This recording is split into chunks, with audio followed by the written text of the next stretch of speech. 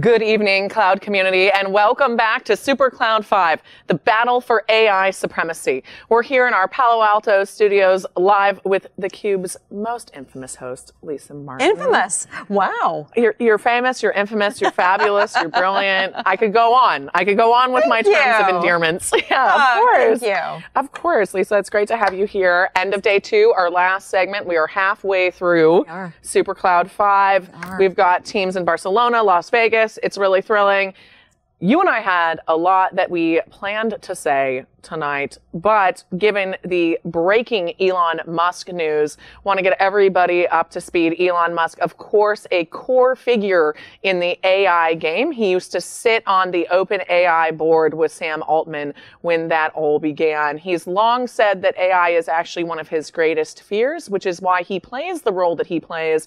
And AI is at the backbone of his companies. Interesting developments happened this evening at a New York Times event in New York City. While he was being interviewed and asked what he would say to or or if he wanted to appeal to advertisers on that platform, he said, if anyone wants to blackmail me with advertising or money, they can go F themselves. Welcome back to the show, everyone. I'm decide- I'm excited to talk with Lisa Martin tonight. Oh, Elon. Sometimes Right. we just inner voice. Do we have an emoji for that yet? It's this one. It's the faceplant. You know, At least he's consistent. he is consistent and he is consistently picking fights. Speaking of picking fights with Elon, Groq today. I did. That was what fantastic. a I mean, bold, bold move. You know, I was impressed with their marketing prowess and shout straight up just shout out to the Groq marketing team. Y'all are doing a smashing job. Not only are they rebranding their tagline to wow, since everyone says wow, just like we did. Yes. Earlier today, they brought a live llama bunny pregnant with her baby to Denver, milling around the streets of Denver. Definitely the coolest activation there for sure. Certainly the, the only live activation I think that we saw. And then, you know, they debatably, and they had the courtesy to come into the studio today, and they debatably out marketed themselves yet again by telling Elon to cease and degrok. And and and I would love to know if there was any legalese actually in that. But for anyone who's been served a cease and desist or a DMCA takedown, like I have working in 3D printing or and a lot of other industries, there's a real uh, gut check and a little bit of a belly drop when you get something telling you, you know, accusing you of, of of cheating or of theft or of infringement. All of it. Yes. And uh, though I'm curious to see since they decided to pick that fight this afternoon, probably just about two hours before Elon decided to pick a fight with half the planet. Yeah. Super curious to see how Elon weighs his battles. Maybe maybe the, maybe the DGROC will be a, a nice diversion for him Could to be. avoid having to explain why he just told everyone to go F themselves. I don't know. I think what he just did at the New York Times is pretty profound. in addition to picking a fight with Elon today, spicy, spicy day for them, they gave us a fantastic demo. Lisa, that was your first time seeing it. It was. And I love that you had the exact same response that all of us have had so far, which is wow. We're going to need to get Jonathan to show us that demo again. I think so. Mm-hmm. So this is Llama 2 70 billion. This is the largest large language model from Meta. And why don't you ask it a question? Should we ask it if there's an alternative to NVIDIA It's going to say no. for LLM inference? It'll say no. Uh, f- It, uh, it actually, I, I tested Oh, it really? this morning. Uh, All right. Well, let's see what it says. Let's find out All what right. Groq says. well, it's already done. Whoa. That's our brand.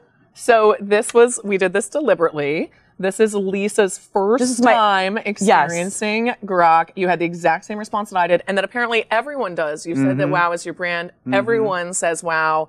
Lisa, why don't? And this pick something random. Oh, we were talking about cupcakes, cooking, and dogs, Dogs. yesterday Yes. as an AI potential business model. Yes. Let's let's ask Jonathan something fun about that.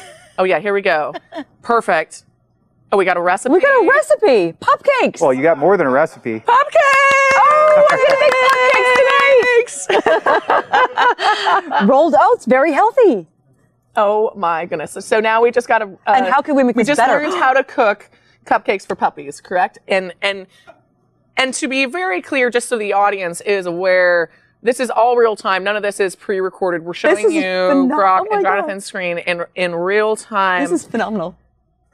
Pupcakes. I, I know. just, I, it's going to be a takeaway from the show that I was not expecting. I don't even think I had heard that term before. And I mean, my dog's almost 13. You're a super big dog lover. Yeah. Were you aware of Pupcakes? Yes, I was. Yes. Oh man, so I'm just I'm learning about how to pronounce our team's name. I'm learning about Pupcakes. I'm really expanding my mind here on the cube this It- week. that's what the cube is here for.